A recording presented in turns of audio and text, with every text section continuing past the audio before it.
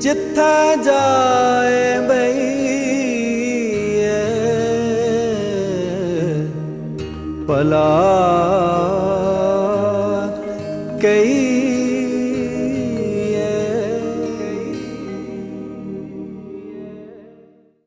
ਪ੍ਰਭ ਮਿਲਬੇ ਕੋ ਪ੍ਰੀਤ ਮਨ ਲਾਗੀ, ਪਾਏ ਲਗੋਂ ਮੋਹਿ ਕਰੋ ਬੇਨਤੀ, ਕੋਉ ਸੰਤ ਮਿਲੇ ਬੜ ਭਾਗੀ। ਮਨ ਅਰਪੋਂ ਧਨ ਰਾਖੋਂ ਆਗੇ। ਮਨ ਕੀ ਮਤ ਮੋਹਿ ਸਗਲ ਤੇ ਆਗੀ ਜੋ ਪ੍ਰਭ ਕੀ ਹਰ ਕਥਾ ਸੁਨਾਵੈ ਅਨ ਦਿਨ ਫਿਰੋਂ ਤਿਸ ਪਿਛੇ ਵਿਰਾਗੀ।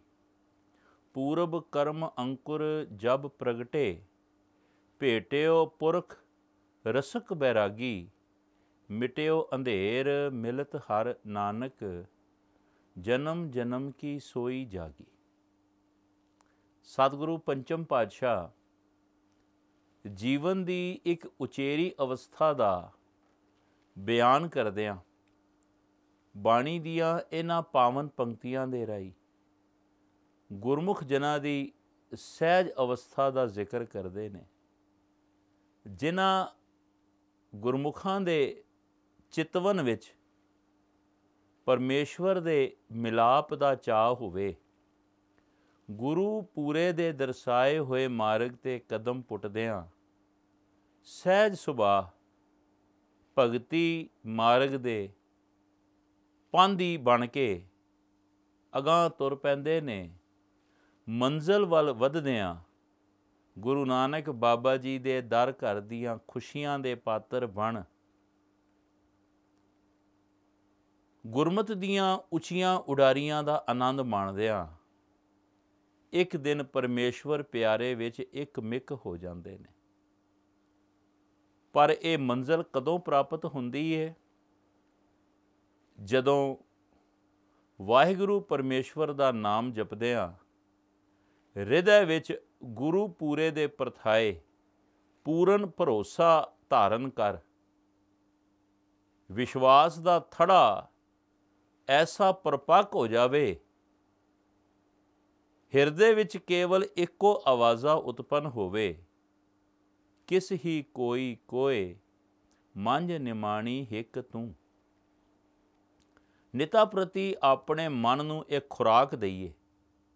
ਬਾਰ-ਬਾਰ ਇਹਨਾਂ ਬਚਨਾਂ ਨੂੰ ਦੁਹਰਾ ਕੇ, ਥੜੇ ਨੂੰ ਮਜ਼ਬੂਤ ਕਰੀਏ। ਸਾਹਿਬ ਮੇਰਾ ਏਕੋ ਹੈ ਏਕੋ ਹੈ ਭਾਈ ਏਕੋ ਹੈ। ਇਹ ਬਚਨ ਪੜਨ ਵੇਲੇ ਸ਼ਬਦ ਗੁਰੂ ਦੇ ਚਰਨਾਂ ਦਾ ਧਿਆਨ ਧਰਨਾ, ਗੁਰੂ ਨਾਨਕ ਬਾਬਾ ਜੀ ਦੇ ਪਾਵਨ ਉਪਦੇਸ਼ ਨੂੰ ਹਿਰਦੇ ਵਿੱਚ ਵਸਾਉਣਾ, ਤਾਂ ਜੇ ਮਨ ਕਦੇ ਡਿੱਗੇ ਡੋਲੇ ਨਾ। ਸਤਿਗੁਰੂ ਸੱਚੇ ਪਾਤਸ਼ਾਹ ਇਸ ਮਨ ਨੂੰ ਸਮਝਾਉਂਦਿਆਂ ਬਾਰੰਬਾਰ ਅਨਕ ਬਾਰ ਹਰ ਥਾਂ ਤੇ ਗੁਰਮਤ ਦੇ ਉਪਦੇਸ਼ ਨੂੰ ਜੀਵਨ ਵਿੱਚ ਧਾਰਨ ਕਰਨ ਦੀ ਪ੍ਰੇਰਣਾ ਵੀ ਬਖਸ਼ਿਸ਼ ਕਰਦੇ ਨੇ। ਤਨ ਮੇਰੇ ਸੋਹਣੇ ਪੰਚਮ ਪਾਤਸ਼ਾਹ, ਬਾਣੀ ਕੇ ਬੋਹਿਤ, ਸ਼ਹੀਦਾਂ ਦੇ ਸਰਤਾਜ, ਪਰਮੇਸ਼ਵਰ ਅਕਾਲ ਦੇ ਭਾਣੇ ਨੂੰ ਕੇਵਲ ਮਿੱਠਾ ਕਰਕੇ ਮੰਨਣ ਦਾ ਉਪਦੇਸ਼ ਹੀ ਜਗਤ ਵਿੱਚ ਨਹੀਂ ਵਰਤਾਇਆ। ਸਗੋਂ ਆਪ ਇਸ ਉਪਦੇਸ਼ ਉੱਪਰ ਦ੍ਰਿੜਤਾ ਦੇ ਨਾਲ ਪਹਿਰਾ ਦਿੱਤਾ। ਉਹਨਾਂ ਦੇ ਮੁਬਾਰਕ ਰਸਨਾ ਤੋਂ ਪ੍ਰਗਟ ਹੋਏ ਇਹ ਮਿਠੜੇ ਬਚਨ। ਪ੍ਰਭ ਮਿਲਬੇ ਕੋ ਪ੍ਰੀਤ ਮਨ ਲਾਗੀ। ਪਾਏ ਲਗੋ, ਮੋਹਿ ਕਰੋ ਬੇਨਤੀ ਕੋਉ ਸੰਤ ਮਿਲੇ ਵਡਭਾਗੀ। ਕਿਸੇ ਐਸੇ ਬਖਸ਼ੇ ਹੋਏ ਮਹਾਪੁਰਸ਼ ਦੇ ਦੀਦਾਰ ਹੋਣ, ਜਿਸ ਦੀ ਅਪੜ ਸੋਹਣੇ ਰੱਬ ਦੇ ਘਰ ਤੱਕ ਹੋਵੇ, ਜੋ ਆਪ ਮੰਜ਼ਲ ਤੇ ਅਪੜਿਆ ਹੋਵੇ, ਪਹੁੰਚਿਆ ਹੋਵੇ। ਸੱਚ ਜਾਣਨਾ, ਮਿਲਾਪ ਉਹੀ ਕਰਾ ਸਕਦਾ ਹੈ, ਜੋ ਆਪ ਮਿਲਿਆ ਹੋਵੇ। ਪੂਰੇ ਕਾ ਕੀਆ ਸਭ ਕੁਝ ਪੂਰਾ, ਘਾਟ ਵੱਧ ਕਿਛ ਨਾ ਹੈ ਤੇ ਐਸਾ ਮੁਕਤੀ ਦਾ ਦਾਤਾ ਕੇਵਲ ਪਾਰ ਬ੍ਰਹਮ ਪਰਮੇਸ਼ਵਰ ਆਪ ਹੈ ਤੇ ਵਾਹਿਗੁਰੂ ਦਾ ਨਿਜ ਸਰੂਪ।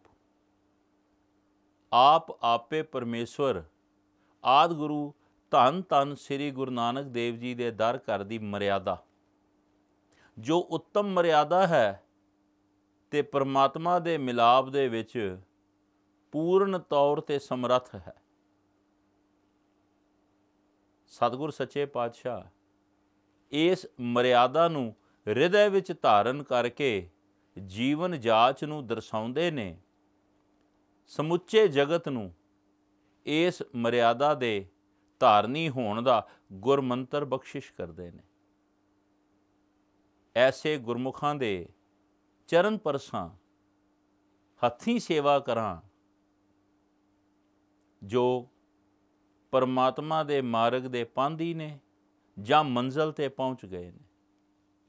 ਅੰਤਰਜਾਮੀ ਪੁਰਖ ਵਿਧਾਤੇ, ਸ਼ਰਧਾ ਮਨ ਕੀ ਪੂਰੇ, ਨਾਨਕ ਦਾਸ ਇਹ ਹੈ ਸੁਖ ਮੰਗੈ, ਮੋਕੋ ਕਰ ਸੰਤਨ ਕੀ ਤੂਰੇ ਕੁਰਬਾਨ ਜਾਵਾਂ ਬਲਿਹਾਰ ਜਾਵਾਂ ਐਸੇ ਗੁਰਮੁਖ ਪਿਆਰਿਆਂ ਤੋਂ, ਜੋ ਪ੍ਰਭੂ ਕੀਆਂ ਬਾਤਾਂ, ਹਰ ਕੀਆਂ ਕਥਾ ਕਹਾਣੀਆਂ, ਗੁਰਮਤ ਦੇ ਆਸ਼ੇ ਅਨੁਸਾਰ ਦਰਸਾਉਂਦੇ ਨੇ, ਸੰਸਾਰ ਨੂੰ ਦ੍ਰਿੜ ਪਏ ਕਰਵਾਉਂਦੇ ਨੇ।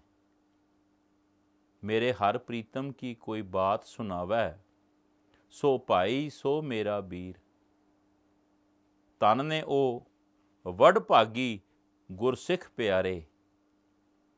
ਜੋ ਪਰਮਾਤਮਾ ਦੀਆਂ ਬਾਤਾਂ ਪਾਉਂਦੇ ਨੇ, ਸੰਸਾਰ ਨੂੰ ਉਸ ਸੋਹਣੇ ਰੱਬ ਦੇ ਚਰਨਾਂ ਨਾਲ ਜੋੜਦੇ ਨੇ।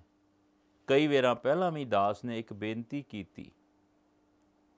ਜਦੋਂ ਸਰੀਰਕ ਰੂਪ ਵਿੱਚ ਕਿਤੇ ਇਕੱਲੇ ਵਿਚਰ ਰਹੇ ਆ ਨਾ, ਨਾਲ ਕੋਈ ਨਹੀਂ, ਤੇ ਰੱਬ ਨਾਲ ਗੱਲਾਂ ਕਰੀਏ ਤੂੰ ਮੇਰਾ ਪਿਤਾ, ਤੂੰ ਹੈ ਮੇਰਾ ਮਾਤਾ, ਤੂੰ ਮੇਰਾ ਬੰਧਪ, ਤੂੰ ਮੇਰਾ ਭਰਾਤਾ, ਤੂੰ ਮੇਰਾ ਰਾਖਾ ਸਭਨੀ ਥਾਈ, ਤਾਂ ਭਉ ਕਿਹਾ ਕਾੜਾ ਜੀਓ। ਇਹ ਰੱਬ ਨਾਲ ਗੱਲਾਂ ਕਰਨੀਆਂ। ਸੋ ਸਤਿਗੁਰ ਪਿਆਰਾ, ਮੇਰੇ ਨਾਲ ਹੈ ਜਿੱਥੇ ਕਿੱਥੇ ਮੈਨੂੰ ਲਏ ਛਡਾਈ। ਵਾਹਿਗੁਰੂ ਦਾ ਨਾਮ ਧਿਆਉਣਾ, ਇਹ ਵੀ ਰੱਬ ਨਾਲ ਬਾਤਾਂ ਪਾਉਣੀਆਂ ਨੇ। ਮੂਲ ਮੰਤਰ ਦਾ ਜਾਪ ਕਰਨਾ, ਪ੍ਰਭੂ ਦੇ ਗੁਣਾਂ ਦਾ ਗਾਇਨ ਕਰਨਾ, ਪਰਮੇਸ਼ਵਰ ਦੀ ਬਾਣੀ ਪੜ੍ਹਨੀ, ਇਹ ਵੀ ਰੱਬ ਨਾਲ ਗੱਲਾਂ ਨੇ। ਬਚਨ ਬਹੁਤ ਡੂੰਘਾ ਹੈ। ਇਕੱਲਿਆਂ ਰੱਬ ਨਾਲ ਬਾਤਾਂ ਪਾਈਏ ਤੇ ਮਹਿਫਿਲ ਵਿੱਚ ਰੱਬ ਦੀਆਂ ਬਾਤਾਂ ਪਾਈਏ ਜੇ ਕਿਤੇ ਚਾਰ ਕੁ ਸੱਜਣ ਮਿੱਤਰਾਂ ਵਿੱਚ ਬੈਠੇ ਆ। ਕਿਤੇ ਸਾਕ ਸੰਬੰਧੀਆਂ ਵਿੱਚ, ਪਰਿਵਾਰ ਵਿੱਚ ਆਣ ਜੁੜੇ ਆ। ਤੇ ਉਸ ਸਮੇਂ ਵੀ ਯਤਨ ਹੋਵੇ ਕੋਈ ਦੁਨਿਆਵੀ ਬਾਤਾਂ, ਕਿਸੇ ਦੀ ਨਿੰਦਿਆ ਚੁਗਲੀ ਆਦਕ ਨਹੀਂ। ਸਗੋਂ ਮਹਿਫਿਲ ਵਿੱਚ ਵੀ ਰੱਬ ਦੀਆਂ ਬਾਤਾਂ ਪਾਉਣੀਆਂ, ਪਰਮੇਸ਼ਵਰ ਦੀਆਂ ਗੱਲਾਂ ਕਰਨੀਆਂ, ਸੱਚ ਜਾਣਨਾ, ਉਹ ਅਸਥਾਨ ਵੀ ਸੰਗਤ ਦਾ ਰੂਪ ਹੋ ਜਾਏਗਾ। ਸੋ ਅਸਥਾਨ ਬਤਾਵੋ ਮੀਤਾ ਜਾਂ ਤੇ ਹਰ ਹਰ ਕੀਰਤਨ ਨੀਤਾ ਜਿੱਥੇ ਪਰਮੇਸ਼ਵਰ ਦੀ ਸਿਫਤ ਸਲਾਹ ਹੋਵੇ, ਕੀਰਤੀ ਹੋਵੇ, ਜਸ ਗਾਇਆ ਜਾਂਦਾ ਹੋਵੇ ਨਾ, ਉਹ ਅਸਥਾਨ ਵੀ ਸੱਚਖੰਡ ਹੋ ਜਾਂਦਾ ਹੈ। ਉਹ ਜੀਵ ਸੰਗਤ ਰੂਪ ਹੋ ਜਾਂਦੇ ਨੇ, ਜਿਨ੍ਹਾਂ ਨਾਲ ਰੱਬ ਦੀਆਂ ਬਾਤਾਂ ਦੀ ਸਾਂਝ ਪੈਂਦੀ ਹੈ। ਕਲਗੀਧਰ ਪਾਤਸ਼ਾਹ ਨੇ ਖਾਲਸੇ ਦੇ ਪਰਥਾਏ ਇਹ ਜੋ ਬਚਨ ਕੀਤਾ, ਅਸਲ ਵਿੱਚ ਇਹ ਖਾਲਸੇ ਦੀ ਨਿਸ਼ਾਨੀ, ਖਾਲਸੇ ਦੀ ਪਰਿਭਾਸ਼ਾ ਸਤਿਗੁਰੂ ਜੀ ਕਿਰਪਾ ਕਰਕੇ ਦ੍ਰਿੜ ਪਏ ਕਰਵਾਉਂਦੇ ਨੇ ਤੇ ਭਾਈ ਨੰਦ ਲਾਲ ਜੀ ਇਹਨਾਂ ਬਚਨਾਂ ਨੂੰ ਕਲਮਬੱਧ ਕਰ ਰਹੇ ਨੇ। ਕਲਗੀਧਰ ਪਾਤਸ਼ਾਹ ਦਾ ਬਚਨ, ਖਾਲਸਾ ਸੋਏ ਨਾਮ ਸਿਉ ਜੋੜੇ, ਖਾਲਸਾ ਸੋਏ, ਬੰਧਨ ਕੋ ਤੋੜੇ। ਗੁਰੂ ਕਾ ਸਿੱਖ, ਜੋ ਆਪ ਪਰਮੇਸ਼ਵਰ ਦੇ ਨਾਮ ਰੰਗ ਵਿੱਚ ਗੜੁਚ ਹੋਇਆ ਹੈ, ਜੋ ਨਾਮ ਦੇ ਬੇਸ਼ਕੀਮਤੀ ਰੰਗ ਨੂੰ ਮਾਣ ਰਿਹਾ ਜਿਸ ਦਾ ਮਨ ਭਿਜਿਆ ਉਹ ਸਦਾ ਯਤਨਸ਼ੀਲ ਹੋਵੇਗਾ। ਕਿਸੇ ਟੁੱਟੇ ਹੋਏ ਮਨਮੁਖ ਨੂੰ ਗੁਰੂ ਕੀਆਂ ਬਾਤਾਂ ਸਰਵਣ ਕਰਾ ਕੇ ਗੁਰੂ ਪੂਰੇ ਦੇ ਦਰਸਾਏ ਹੋਏ ਮਾਰਗ ਤੇ ਤੋਰ ਸਕਾਂ। ਜੁੜਿਆ ਹੋਇਆ ਸਦਾ ਜੋੜਨ ਦੀ ਗੱਲ ਕਰੇਗਾ, ਪਰ ਮਾਫ ਕਰਨਾ, ਟੁੱਟਿਆ ਹੋਇਆ ਸਦਾ ਤੋੜਨ ਦੀ ਗੱਲ ਕਰੇਗਾ। ਵਿਦਵਾਨ ਪੁਰਸ਼ਾਂ ਦਾ ਬਚਨ ਹੈ, ਸੂਈ ਸੁਹਾਗਾ, ਸੰਤ ਜਨ ਇਹ ਤਿੰਨੋਂ ਹੈ ਜੋੜਨ। ਸੂਈ ਦਾ ਕੰਮ ਹੈ ਜੋੜਨਾ। ਪਾਟੇ ਹੋਏ ਨੂੰ ਸਿਉਣਾ। ਸੂਈ ਨੂੰ ਧਾਗੇ ਦਾ ਸੰਗ ਹੋ ਜਾਵੇ ਨਾ। ਬਸਤਰ ਜਿੰਨਾ ਵੀ ਪਾਟਿਆ ਹੋਵੇ ਸਿਓ ਕੇ ਫੇਰ ਪਹਿਨਣ ਜੋਗਾ ਕਰ ਦਿੰਦੀ। ਸੂਈ ਭਾਵੇਂ ਵੇਖਣ ਵਿੱਚ ਨਿੱਕੀ ਜਾਪਦੀ ਏ। ਪਰ ਸੂਈ ਦਾ ਕੰਮ ਬੜਾ ਵਿਸ਼ਾਲ ਹੈ। ਸਿਉਣਾ, ਜੋੜਨਾ ਤੇ ਸੁਹਾਗੇ ਦਾ ਕੰਮ। ਆਪ ਜੀ ਜਾਣਦੇ ਹੋ। ਜਦੋਂ ਕਿਰਸਾਨ ਵੀਰ ਧਰਤੀ ਨੂੰ ਵਾਹੁੰਦੇ ਨੇ, ਸੁਹਾਗਾ ਫੇਰਦੇ ਨੇ ਤੇ ਉੱਚੀ ਨੀਵੀਂ ਪੈਲੀ ਨੂੰ, ਧਰਤੀ ਨੂੰ ਸੁਹਾਗਾ ਇਕਸਾਰ ਕਰ ਦਿੰਦਾ ਧਰਤੀ ਵਿੱਚ ਪਾਏ ਹੋਏ ਬੀਜ ਨੂੰ ਲੁਕੋ ਦਿੰਦਾ ਤਾਂ ਜੇ ਉਹ ਬੀਜ ਪੁੰਗਰ ਕੇ ਵਿਸ਼ਾਲ ਦਰਖਤ ਦਾ ਰੂਪ ਬਣ ਸਕੇ ਤੇ ਸੰਸਾਰ ਦੇ ਪ੍ਰਾਣੀ ਇਸ ਵਿਸ਼ਾਲ ਦਰਖਤ ਦੀ ਜਿੱਥੇ ਛਾਂ ਦਾ ਆਨੰਦ ਮਾਣ ਸਕਣ, ਉਥੇ ਫਲ ਫੁੱਲ ਆਦਿਕ ਦਾ ਵੀ ਆਨੰਦ ਮਾਣਨ। ਇਸੇ ਪ੍ਰਕਾਰ ਤੀਜਾ ਉਦਾਹਰਣ ਵਿਦਵਾਨ ਪੁਰਸ਼ਾਂ ਨੇ ਜੋ ਸੰਸਾਰ ਨੂੰ ਦਿੱਤਾ, ਸੂਈ, ਸੁਹਾਗਾ, ਸੰਤ ਜਨ, ਇਹ ਤਿੰਨੋਂ ਹੈ ਜੋੜਨ। ਸੰਤ ਮਹਾਪੁਰਸ਼, ਗੁਰਸਿੱਖ ਪਿਆਰੇ, ਜੋ ਪਰਮੇਸ਼ਵਰ ਦੀ ਪੈ ਭਾਵਨੀ ਵਿੱਚ ਜੀਵਨ ਜਿਉਂਦੇ ਨੇ, ਆਪ ਨਾਮ ਦੇ ਵਿੱਚ ਰਚ ਮਿਚ ਹੋਏ ਨੇ ਤੇ ਸੰਸਾਰ ਨੂੰ ਨਾਮ ਦਾ ਉਪਦੇਸ਼ ਬਖਸ਼ਿਸ਼ ਕਰਕੇ ਟੁੱਟਿਆਂ ਹੋਇਆਂ ਨੂੰ ਵੀ ਜੋੜਨ ਦਾ ਕੰਮ ਕਰਦੇ ਨੇ। ਸਿਆਣੇ ਆਖਦੇ ਨੇ, ਜੋੜਨ ਵਰਗਾ ਪੁੰਨ ਨਹੀਂ, ਤੋੜਨ ਵਰਗਾ ਪਾਪ ਨਹੀਂ। ਨਾਲ ਹੀ ਵਿਦਵਾਨ ਪੁਰਸ਼ਾਂ ਦਾ ਇਹ ਬਚਨ, ਜਿੱਥੇ ਆਖਿਆ, ਸੂਈ ਸੁਹਾਗਾ ਸੰਤ ਜਨ, ਇਹ ਤਿੰਨੋਂ ਹੈ ਜੋੜਨ, ਨਾਲ ਹੀ ਆਖਿਆ, ਕਹੀ ਕੁਹਾੜਾ, ਦੁਸ਼ਟ ਜਨ, ਇਹ ਤਿੰਨੋਂ ਹੈ ਤੋੜਨ। ਕਹੀ ਦਾ ਕੰਮ ਹੈ ਪਟਣਾ। ਕਹੀ ਕਦੇ ਜੋੜਨ ਦਾ ਕੰਮ ਨਹੀਂ ਕਰਦੀ। ਜਿੱਥੇ ਵੀ ਕਹੀ ਦੀ ਸੱਟ ਪਵੇ, ਧਰਤੀ ਨੂੰ ਪਾੜ ਦਿੰਦੀ ਹੈ ਕੁਹਾੜੇ ਦਾ ਕੰਮ ਹੈ ਵੱਢਣਾ ਤੇ ਦੁਸ਼ਟ ਜਨ ਵੀ ਸਾਕਤ ਪੁਰਸ਼ ਵੀ, ਜੋ ਆਪ ਟੁੱਟੇ ਨੇ ਪਰਮਾਤਮਾ ਦੇ ਮਾਰਗ ਤੇ ਨਹੀਂ ਤੁਰੇ, ਜਾਂ ਪਰਮੇਸ਼ਵਰ ਦੀ ਹੋਂਦ ਤੋਂ ਮੁਨਕਰ ਨੇ, ਐਸੇ ਸਾਕਤ ਪੁਰਸ਼ ਦੀ ਸੰਗਤ ਕਈ ਵੇਰਾਂ ਜੋੜਿਆਂ ਹੋਇਆਂ ਨੂੰ ਵੀ ਤੋੜ ਦਿੰਦੀ। ਸੋ ਇਹਨਾਂ ਦੀ ਸੰਗਤ ਤੋਂ ਬਚੀਏ ਤੇ ਬਖਸ਼ਿਆਂ ਦੀ ਸੰਗਤ ਕਰੀਏ, ਜੋ ਨਾਮ ਨਾਲ ਜੋੜਦੇ ਨੇ। ਚੌਥੇ ਪਾਤਸ਼ਾਹ ਦੇ ਬਚਨ ਜਨ ਨਾਨਕ ਧੂੜ ਮੰਗੈ ਤਿਸ ਗੁਰਸਿੱਖ ਕੀ, ਜੋ ਆਪ ਜਪੇ ਅਵਰੈ ਨਾਮ ਜਪਾਵੈ। ਜੋ ਆਪ ਨਾਮ ਜਪਣ ਦੀਆਂ ਉੱਚੀਆਂ ਅਵਸਥਾਵਾਂ ਦੇ ਆਨੰਦ ਮਾਣਦੇ ਨੇ, ਜਿਨ੍ਹਾਂ ਦੇ ਜੀਵਨ ਵਿੱਚ ਨਾਮ ਦੀ ਹਰਿਆਵਲ ਪ੍ਰਗਟ ਹੋਈ ਏ, ਉਹਨਾਂ ਦਾ ਜਨਮਾਂ ਦਾ ਸੋਕਾ ਮਿਟ ਜਾਂਦਾ ਹੈ। ਉਹਨਾਂ ਦੇ ਜੀਵਨ ਵਿੱਚੋਂ ਪਾਪ ਕਰਮ ਕੱਟੇ ਜਾਂਦੇ ਨੇ। ਮੰਦੀ ਸੋਚ ਦਾ ਨਾਸ ਹੋ ਜਾਂਦਾ ਹੈ। ਐਸੇ ਜੁੜੇ ਹੋਏ ਗੁਰਮੁਖ ਸੰਸਾਰ ਨੂੰ ਵੀ ਪਰਮਾਤਮਾ ਦੇ ਚਰਨਾਂ ਨਾਲ ਜੋੜਨ ਦਾ ਕਾਰਜ ਕਰਦੇ ਨੇ। ਕਲਗੀਧਰ ਪਾਤਸ਼ਾਹ ਫਰਮਾਉਂਦੇ ਨੇ, ਖਾਲਸਾ ਸੋਏ ਨਾਮ ਸਿਓ ਜੋੜੈ।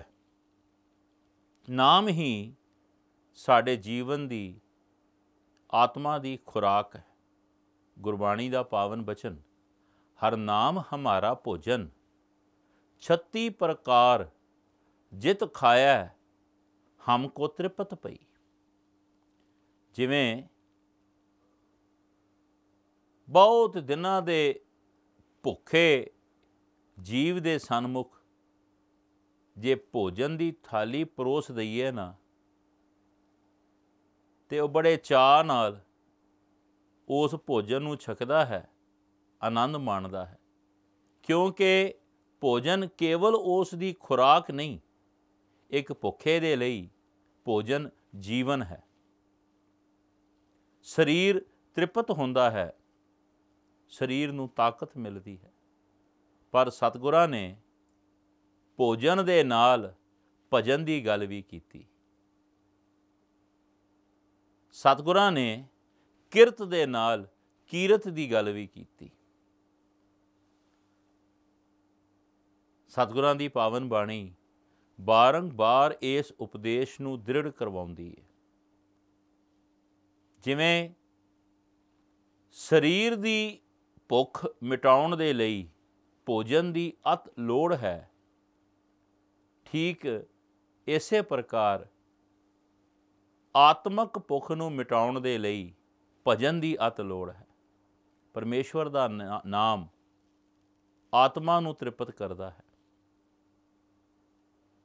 ਇਸੇ ਲਈ ਸਤਿਗੁਰਾਂ ਦੀ ਪਾਵਨ ਬਾਣੀ ਇਸ ਗੱਲ ਦੀ ਹਾਮੀ ਭਰਦੀ ਹੈ ਕਿ ਪਰਮੇਸ਼ਵਰ ਦਾ ਮਿਠੜਾ ਨਾਮ ਇੱਕ ਮੇਵੇ ਦੀ ਨਿਆਈ ਹੈ।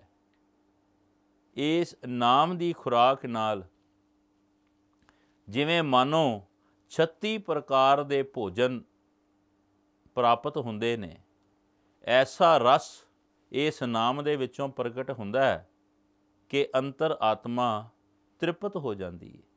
ਹਰ ਨਾਮ ਹਮਾਰਾ ਭੋਜਨ 36 ਪ੍ਰਕਾਰ ਜਿਤ ਖਾਇਆ, ਹਮਕੋ ਤ੍ਰਿਪਤ ਪਈ। ਇਹ ਨਾਮ ਕੇਵਲ ਆਤਮਾ ਦਾ ਭੋਜਨ ਨਹੀਂ। ਸਤਿਗੁਰੂ ਅਗਲੀ ਪੰਕਤੀ ਦੇ ਵਿੱਚ ਨਾਮ ਦੇ ਹੋਰ ਬੇਅੰਤ ਗੁਣਾਂ ਨੂੰ ਪ੍ਰਗਟ ਕਰਦੇ ਨੇ। ਹਰ ਨਾਮ ਹਮਾਰਾ ਪਹਿਨਣ ਜਿਤ ਫਿਰ ਨੰਗੇ ਨਾ ਹੋਵੇਂ, ਹੋਰ ਪਹਿਨਣ ਕੀ ਹਮਾਰੀ ਸ਼ਰਤ ਗਈ।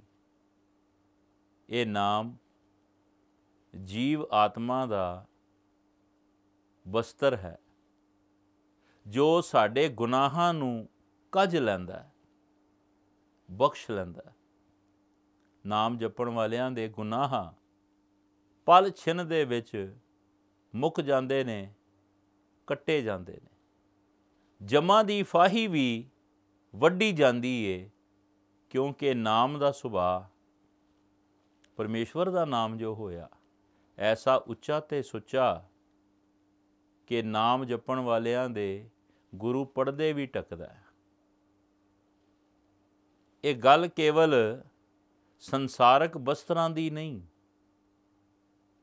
ਇਹ ਗੁਰਸ਼ਬਦ ਰੂਪੀ ਬਸਤਰ ਸਾਡੇ ਜੀਵਨ ਵਿੱਚ ਪਾਪ ਉਜਾਗਰ ਨਹੀਂ ਹੋਣ ਦਿੰਦੇ, ਸਗੋਂ ਨਾਮ ਦੀ ਕਮਾਈ ਸਦਕਾ ਇਹਨਾਂ ਪਾਪਾਂ ਦਾ ਦੁੱਖ ਸਦਾ ਲਈ ਕਟਿਆ ਜਾਂਦਾ ਹੈ। ਕਦੇ ਗੁਰਮੁਖਾਂ ਦੇ ਜੀਵਨ ਵਿੱਚ ਪਾਪ ਕਰਨ ਦਾ ਚਾਅ ਪ੍ਰਗਟ ਨਹੀਂ ਹੁੰਦਾ। ਕਿਉਂਕਿ ਨਾਮ ਦੀਆਂ ਨੇਕ ਕਮਾਈਆਂ ਸੁਰਤ ਨੂੰ ਗੁਰੂ ਦੇ ਚਰਨਾਂ ਵਿੱਚ ਟਿਕਾ ਦਿੰਦੀਆਂ ਨੇ। ਜਿਨ੍ਹਾਂ ਦੀ ਸੁਰਤ ਗੁਰੂ ਚਰਨਾਂ ਵਿੱਚ ਟਿੱਕੀ ਹੋਵੇ ਨਾ, ਸੱਚੇ ਪਾਤਸ਼ਾਹ ਫਿਰ ਆਪ ਬਾਲਕ ਦੀ ਨਿਆਈ ਐਸੇ ਗੁਰਮੁਖਾਂ ਦੀ ਪਾਲਣਾ ਕਰਦੇ ਨੇ।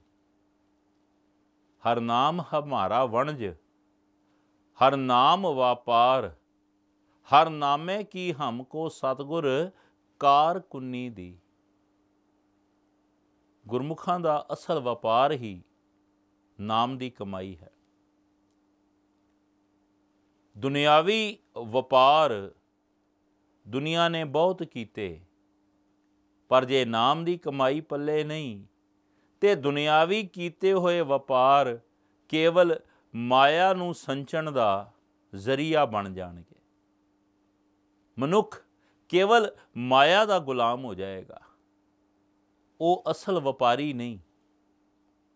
ਸਤਿਗੁਰਾਂ ਨੇ ਨਾਮ ਤੋਂ ਛੁੱਟ ਕੇਵਲ ਸੰਸਾਰਕ ਵਪਾਰ ਕਰਨ ਵਾਲੇ ਨੂੰ ਵਪਾਰੀ ਨਹੀਂ ਆਖਿਆ, ਸਗੋਂ ਜੁਆਰੀ ਆਖਿਆ। ਜਿਨ੍ਹਾਂ ਨੇ ਨਾਮ ਦਾ ਵਪਾਰ ਕੀਤਾ, ਸੱਚ ਦੀ ਗੱਲ ਕੀਤੀ, ਸਤਿਗੁਰਾਂ ਨੇ ਇਸ ਨੂੰ ਉੱਤਮ ਵਪਾਰ ਕਹਿ ਕੇ ਵੀ ਖਲਕਤ ਨੂੰ ਸਮਝਾਉਣਾ ਕੀਤਾ। ਇਹ ਵਪਾਰ ਵਿਰਲਾ ਵਪਾਰ ਹੈ। ਨਾਨਕ ਤਾਂ ਕਹਿ ਸਦ ਬਲਿਹਾਰ ਹੈ ਜਿਨ੍ਹਾਂ ਨੇ ਨਾਮ ਦੀਆਂ ਨੇਕ ਕਮਾਈਆਂ ਕੀਤੀਆਂ, ਸੱਚ ਦਾ ਵਪਾਰ ਕੀਤਾ। ਸੱਚ ਵਪਾਰ ਕਰੋ ਵਪਾਰੀ, ਦਰਗਹਿ ਨਿਭੈ ਖੇਪ ਤੁਮਾਰੀ। ਏਕਾ ਟੇਕ ਰੱਖੋ ਮਨ ਮਾਹੇ, ਨਾਨਕ ਬਹੁਰ ਨਾ ਆਵੇਂ ਜਾਏ। ਸੰਸਾਰ ਤਾਂ ਕੇਵਲ ਦੁਨਿਆਵੀ ਵਪਾਰ ਦੇ ਵਿੱਚ ਖੱਚਤ ਹੋਇਆ ਭਗਤ ਕਬੀਰ ਜੀ ਨੇ ਉਹਨਾਂ ਵਪਾਰੀਆਂ ਦਾ ਵੀ ਜ਼ਿਕਰ ਕੀਤਾ ਹੈ। ਕਿਨਹੀ ਬਨਜਿਆ ਕਾਂਸੀ ਤਾਂਬਾ ਕਿਨਹੀ ਲੌਂਗ ਸੁਪਾਰੀ, ਸੰਤੋ ਬਨਜਿਆ ਨਾਮ ਗੋਬਿੰਦ ਕਾ, ਐਸੀ ਖੇਪ ਹਮਾਰੀ। ਹਰ ਕੇ ਨਾਮ ਕੇ ਵਿਆਪਾਰੀ ਹੀਰਾ ਹਾਥ ਚੜਿਆ ਨਿਰਮੋਲਕ, ਛੂਟ ਗਈ ਸੰਸਾਰੀ। ਵੇਖੋ, ਕੈਸੇ ਸਰਲ ਸ਼ਬਦਾਂ ਦੇ ਵਿੱਚ ਭਗਤ ਜੀ ਸਾਨੂੰ ਸੱਚ ਦਾ ਵਪਾਰ ਕਰਨ ਦੀ ਪ੍ਰੇਰਣਾ ਬਖਸ਼ਿਸ਼ ਕਰ ਰਹੇ ਨੇ। ਤੇ ਗੁਰੂ ਕੇ ਸਿੱਖ ਧਨ ਨੇ, ਜਿਨ੍ਹਾਂ ਨੂੰ ਮਾਲਕ ਪਰਮੇਸ਼ਵਰ ਨੇ ਨਾਮ ਦਾ ਵਣਜ ਕਰਨ ਦੀ ਜਾਚ ਦਰਸਾਈ ਹੈ ਹਉ ਮੂਰਖ ਕਾਰੇ ਲਾਈਆ ਨਾਨਕ ਹਰ ਕੰਮੇ।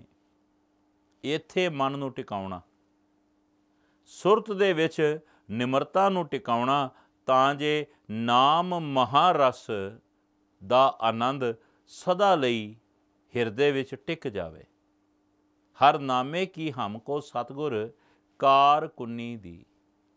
ਸੱਚ ਜਾਣਨਾ, ਸੰਸਾਰ ਦੇ ਵਿੱਚ ਬੜੇ ਬੜੇ ਵਪਾਰੀ ਹੋਏ ਤਨਾੜ ਪੁਰਸ਼ ਹੋਏ, ਬੜੇ ਵੱਡੇ ਇੰਡਸਟਰੀਲਿਸਟ ਵੀ ਹੋਏ, ਪਰ ਸਮਾਂ ਪਾ ਕੇ ਸੰਸਾਰ ਨੇ ਉਹਨਾਂ ਨੂੰ ਇੱਕ ਦਿਨ ਭੁਲਾ ਦਿੱਤਾ। ਪਰ ਮੇਰੇ ਸੱਚੇ ਪਾਤਸ਼ਾਹ ਨੇ ਜੋ ਨਾਮ ਦਾ ਵਪਾਰ ਕਰਨ ਦੀ ਸੋਝੀ ਆਪਣੇ ਗੁਰਸਿੱਖ ਪਿਆਰਿਆਂ ਨੂੰ ਬਖਸ਼ੀ ਨਾ। ਇਹ ਉੱਤਮ ਵਪਾਰ ਕਰਨ ਦੀ ਜਾਚ ਦਰਸਾਈ। ਐਸੇ ਸੱਚ ਦੇ ਵਪਾਰੀ, ਉੱਤਮ ਵਪਾਰੀ ਸਦਾ ਲਈ ਅਮਰ ਹੋ ਗਏ। ਪਿਤਾ ਜੀ ਫਰਮਾਉਂਦੇ ਨੇ, ਹਰ ਨਾਮੇ ਕਾ ਹਮ ਲੇਖਾ ਲਿਖਿਆ, ਸਭ ਜਮ ਕੀ ਅਗਲੀ ਕਾਣ ਗਈ। ਹਰ ਕਾ ਨਾਮ ਗੁਰਮੁਖ ਕਿਨੈ ਵਿਰਲੇ ਆਇਆ, ਜਿਨ ਕੋ ਤੁਰ ਕਰਮ ਪ੍ਰਾਪਤ ਲਿਖਤ ਪਈ। ਕੋਈ ਵਿਰਲੇ ਨੇ ਜਿਨ੍ਹਾਂ ਨੇ ਪਰਮੇਸ਼ਵਰ ਦੇ ਨਾਮ ਨੂੰ ਧਿਆਵਣਾ ਕੀਤਾ, ਉਹਨਾਂ ਦੇ ਲਈ ਸਤਿਗੁਰਾਂ ਨੇ ਉੱਤਮ ਲਫ਼ਜ਼ ਵਰਤਿਆ। ਜਗ ਮੈਂ ਉੱਤਮ ਕਾਢੀਐ, ਵਿਰਲੇ ਕੇਈ ਕੇ। ਨੌਵੇਂ ਪਾਤਸ਼ਾਹ ਜਦੋਂ ਜਗਤ ਜਲੰਦੇ ਨੂੰ ਤਾਰਦਿਆਂ ਹੋਇਆਂ ਆਗਰੇ ਦੀ ਧਰਤੀ ਤੇ ਪਹੁੰਚੇ, ਇੱਕ ਸੱਜਣ ਨਾਲ ਮੇਲ ਹੋਇਆ। ਜੋ ਗ੍ਰਸਤ ਜੀਵਨ ਨੂੰ ਤਿਆਗ ਕੇ ਸੰਨਿਆਸੀ ਹੋਣਾ ਚਾਹੁੰਦਾ ਸੀ। ਸਤਿਗੁਰਾਂ ਦੇ ਸਨਮੁਖ ਹਾਜ਼ਰ ਹੋਇਆ, ਨਤਮਸਤਕ ਹੋ ਕੇ ਸੰਨਿਆਸੀ ਹੋਣ ਦੀ ਇੱਛਾ ਜ਼ਾਹਰ ਕੀਤੀ। ਨੌਵੇਂ ਪਾਤਸ਼ਾਹ ਨੇ ਪਰਿਵਾਰ ਦੇ ਸੰਬੰਧ ਵਿੱਚ ਪੁੱਛਿਆ ਆਖਣ ਲੱਗਾ, ਪਰਿਵਾਰ ਦੇ ਵਿੱਚ ਪਤਨੀ ਤੇ ਤਿੰਨ ਬੱਚੇ ਹਨ। ਮੇਰੇ ਸੱਚੇ ਪਾਤਸ਼ਾਹ ਨੇ ਗੁਰਮਤ ਦਾ ਉਪਦੇਸ਼ ਬਖਸ਼ਿਸ਼ ਕਰਦਿਆਂ ਸੰਨਿਆਸੀ ਹੋਣ ਦਾ ਕਾਰਨ ਪੁੱਛਿਆ। ਆਖਰ ਕੀ ਕਾਰਨ ਹੈ? ਗ੍ਰਸਤ ਨੂੰ ਤਜ ਕੇ ਸੰਨਿਆਸ ਧਾਰਨ ਕਰਨਾ ਚਾਹੁੰਦੇ ਹੋ? ਆਖਣ ਲੱਗਾ, ਗ੍ਰਸਤ ਵਿੱਚ ਬੰਧਨ ਬਹੁਤ ਨੇ। ਤੇ ਬੰਧਨ ਤਿਆਗ ਕੇ ਪਰਮੇਸ਼ਰ ਸਿਓ ਮਿਲਾਪ ਦੀ ਇੱਛਾ ਹੈ। ਸਤਿਗੁਰਾਂ ਨੇ ਫਰਮਾਇਆ, ਇਹ ਸੋਚ ਚੰਗੀ ਨਹੀਂ। ਵਾਹਿਗੁਰੂ ਪਰਮੇਸ਼ਵਰ ਨੇ ਗ੍ਰਹਿਸਥ ਦੀ ਜੋ ਜ਼ਿੰਮੇਵਾਰੀ ਬਖਸ਼ੀ ਹੈ, ਉਸ ਨੂੰ ਛੱਡ ਕੇ ਸੰਸਾਰ ਤੋਂ ਭੱਜ ਜਾਣਾ ਇਹ ਮਾਲਕ ਦੇ ਹੁਕਮ ਦੇ ਵਿਰੁੱਧ ਹੈ। ਕਿਰਤ ਕਰਨੀ ਘਰ ਗ੍ਰਸਥ ਚਲਾਏ, ਨਾਮ ਜਪਣਾ ਅਤੇ ਵਣ ਛਕਣਾ ਹੀ ਮਾਲਕ ਦੀ ਖੁਸ਼ੀ ਪ੍ਰਾਪਤ ਕਰਨ ਦਾ ਰਾਹ ਹੈ। ਨਾਮ ਜਪਦਿਆਂ, ਸੁੱਚੀ ਕਿਰਤ ਕਰਦਿਆਂ, ਟੱਬਰ ਨੂੰ ਪਾਲਣ ਦਾ ਉਪਦੇਸ਼ ਧਾਰਨ ਕਰਕੇ ਗੁਰੂ ਸਾਹਿਬ ਜੀ ਦੇ ਚਰਨਾਂ ਦਾ ਭੌਰਾ ਬਣ ਗਿਆ। ਗੁਰੂ ਸਾਹਿਬ ਦੀਆਂ ਖੁਸ਼ੀਆਂ ਦਾ ਪਾਤਰ ਬਣਿਆ। ਗ੍ਰਸਥ ਵਿੱਚ ਰਹਿੰਦਿਆਂ ਧਰਮ ਨੂੰ ਕਮਾਉਣ ਲੱਗਾ। ਸੋ ਸਤਗੁਰ ਧੰਨ ਧੰਨ, ਜਿਨ ਭਰਮਗੜ ਤੋੜਿਆ, ਸੋ ਸਤਗੁਰ ਵਾਹ ਵਾਹ, ਜਿਨ ਹਰਸਿਆਂ ਜੋੜਿਆ। ਜਿੱਥੇ ਜਾਏ ਬਈ, ਭਲਾ